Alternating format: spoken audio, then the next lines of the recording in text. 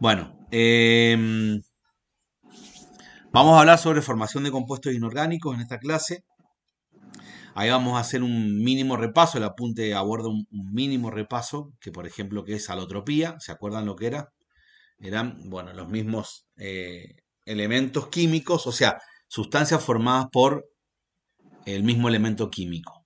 Bien, por ejemplo, el, los alótropos del carbono tenéis grafito y el diamante, que sus moléculas están formadas por átomos de carbono, de la misma forma que el carbono, digamos, original, o el carbono grafito, o el, el alótropo mm, diamante, pero tienen configuraciones distintas.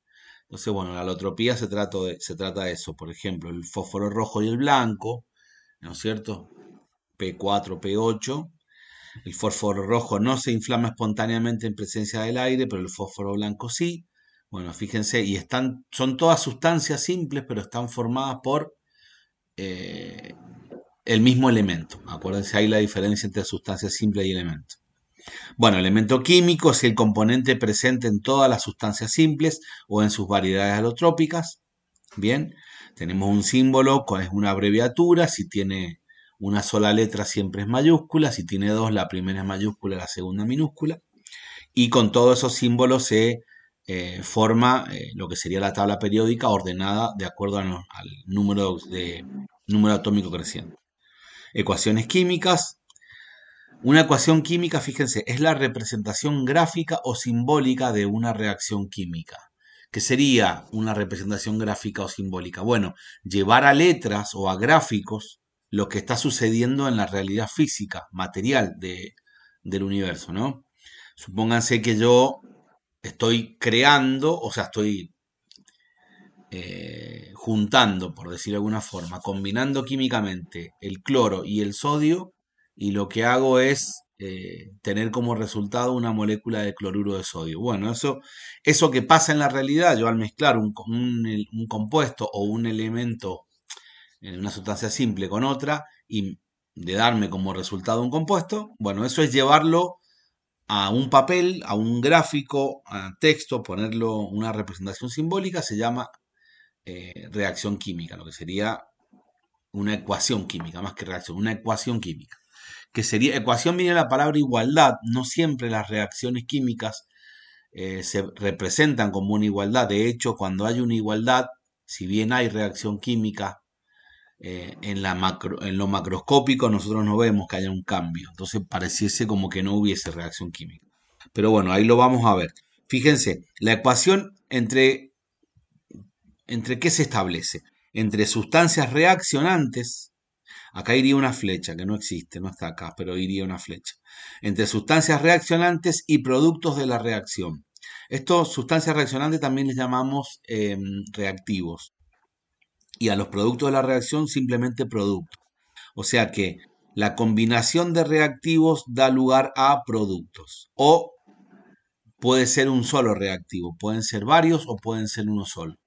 Si es uno solo hay una descomposición del reactivo. Se rompe la molécula y da dos moléculas por lo menos de otra cosa. Bien, cuando dos o más sustancias se combinan forman un compuesto químico. Esto lo habíamos visto. Bien, entonces sería la ecuación química, la representación gráfica. La reacción química es ya lo que sucede en la naturaleza, más allá de si yo lo represento o no lo represente.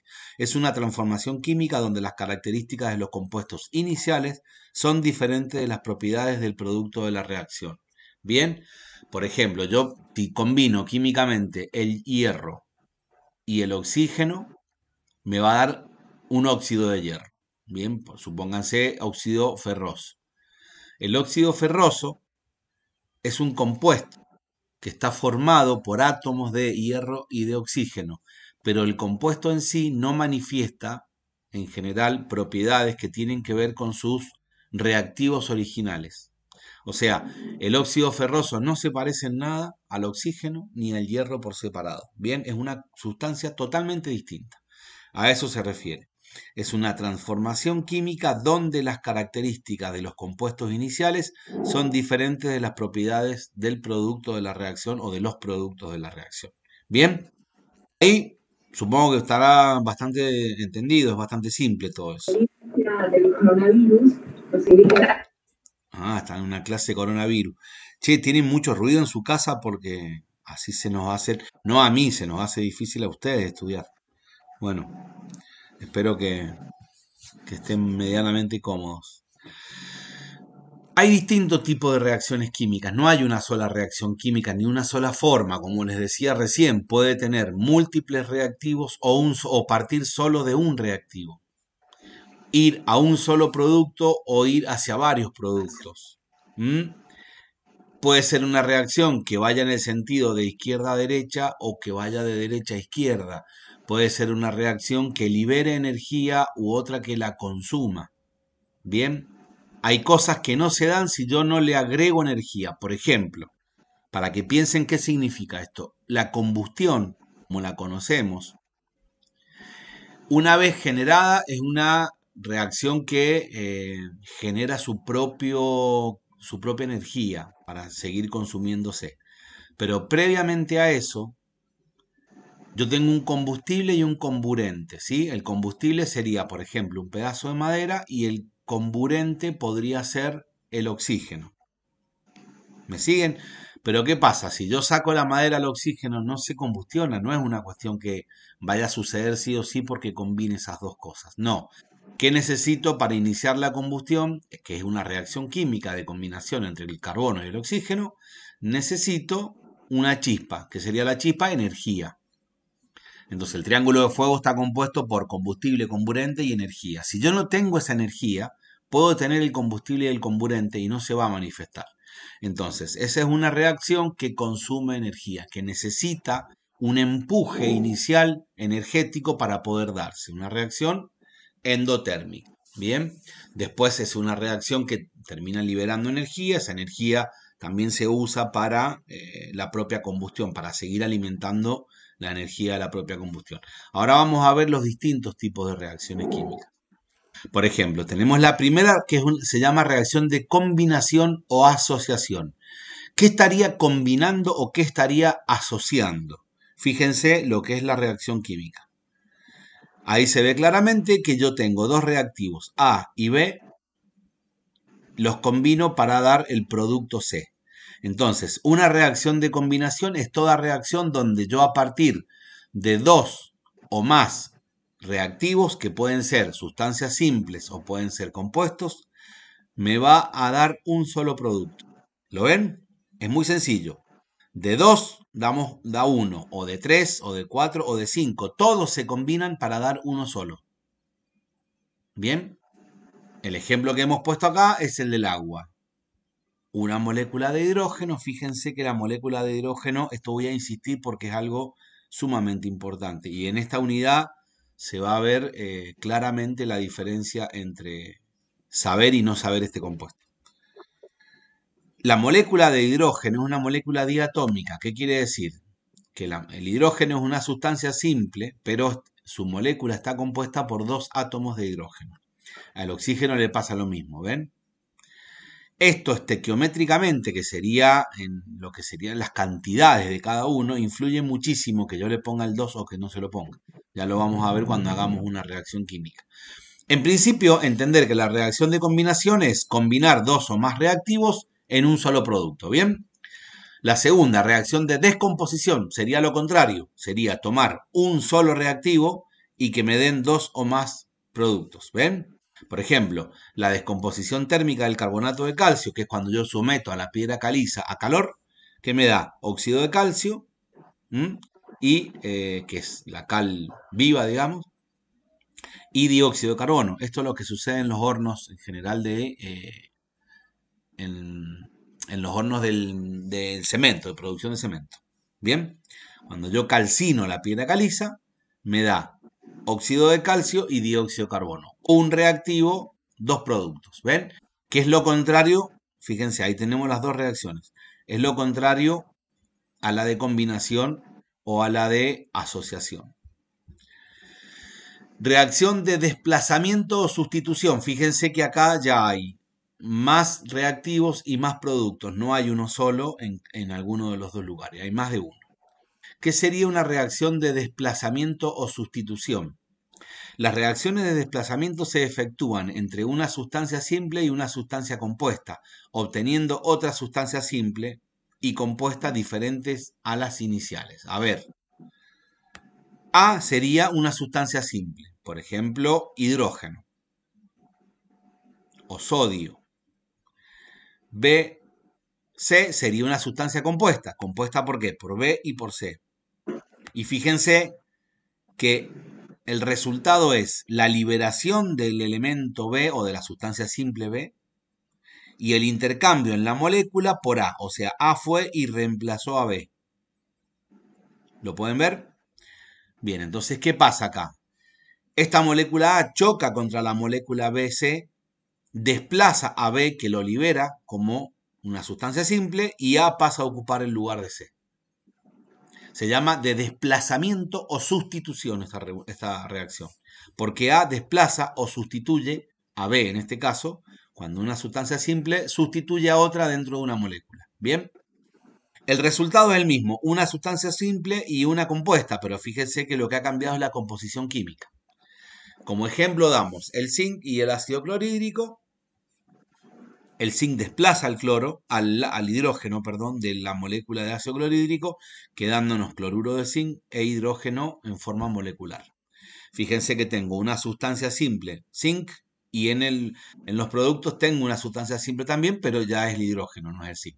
Y tengo una sustancia compuesta, cloruro de hidrógeno o ácido clorhídrico, depende del medio en el que esté, y en, en los productos también tengo una sustancia compuesta, pero se llama cloruro de zinc.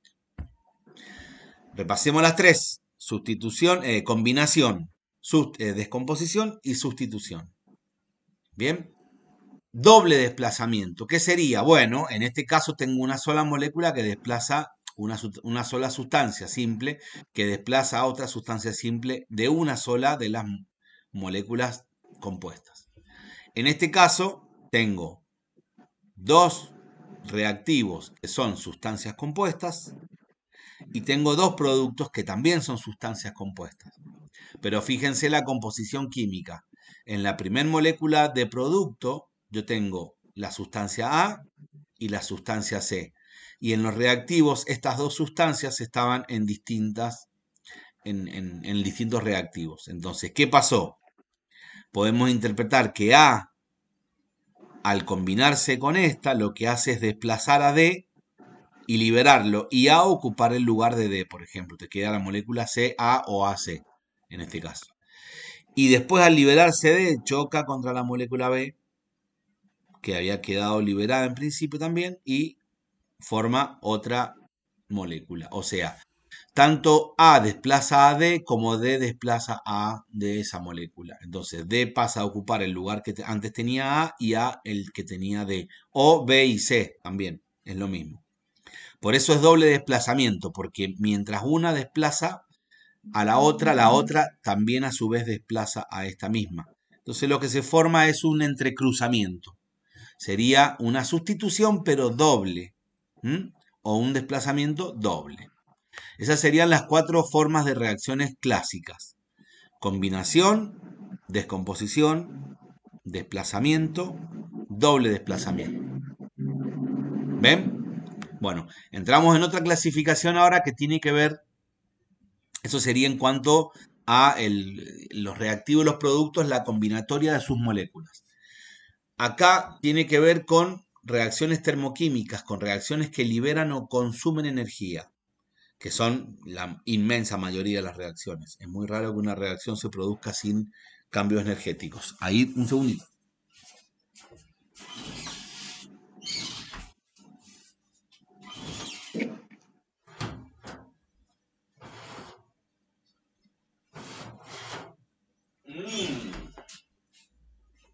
Perdón, que tengo una hermosa tarta de choclo en el horno y no quiero que se me...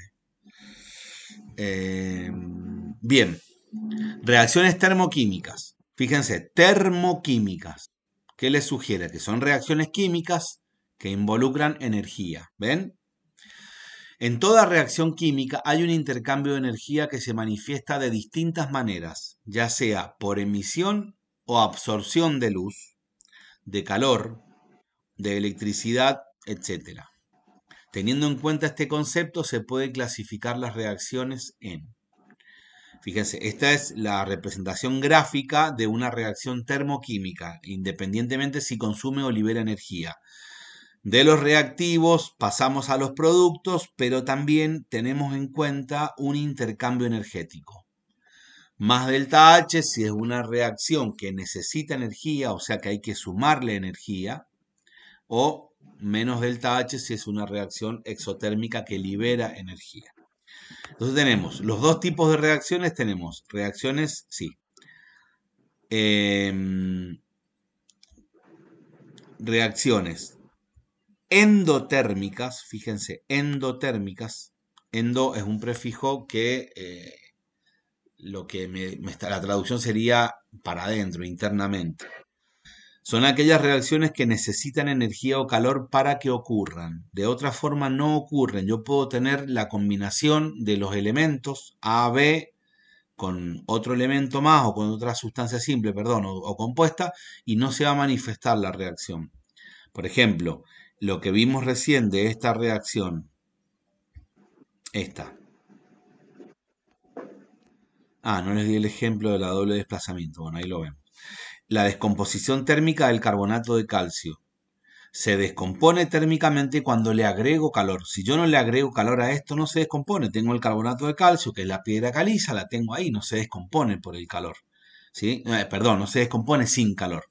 Si no le agrego energía a esta reacción, no se produce pero al agregarle energía la reacción se produce. Entonces dejo de tener carbonato de calcio y paso a tener óxido de calcio y dióxido de carbono. Todo eso sucedió porque la reacción es una reacción endotérmica que necesita agregado de energía externa para que se manifieste la reacción. Bien, ¿me siguen?